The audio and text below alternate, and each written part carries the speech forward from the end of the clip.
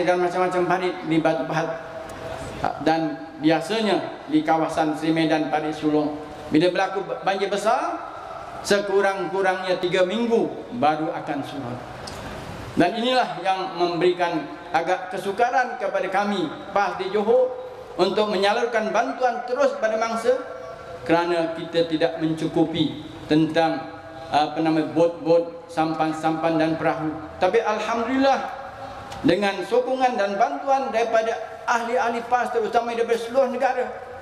Bermula daripada Kelantan, diikuti dengan Terengganu, Kedah, Perlis, Pulau Pinang, Perak dan seterusnya. Alhamdulillah sekarang kita sudah ada beberapa bot untuk digunakan bagi menyampaikan bantuan-bantuan kepada mangsa-mangsa masjid. Kerana ada di antara orang tua yang tak mau pindah ke tempat penempatan. Walaupun rumahnya kena banjir, tapi oleh kerana rumah kampung biasanya ada dua tingkat juga. Satu rumah rendah dan satu lagi naik ada ada tiang. Jadi mereka yang dah tua-tua ini tidak mau berpindah. Sebab itulah maka kami alhamdulillah dapat pergi ke rumah-rumah orang tua yang tak pindah ini dan kita memberikan bantuan.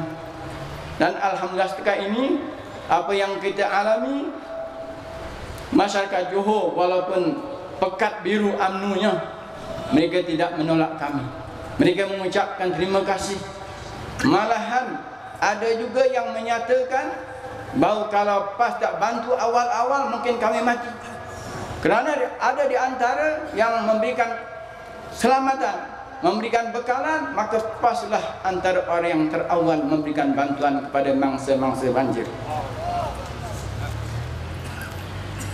tuan-tuan muslimin dan muslimat yang saya kasih sekian sebab itulah pada pandangan kami pas di Johor walaupun agak perit kami menghadapi banjir kali ini tapi mungkin ada hikmah di sebalik banjir itu Pertamanya, hikmatnya PAS juga dapat bergerak dengan lebih pantas, lebih kuat.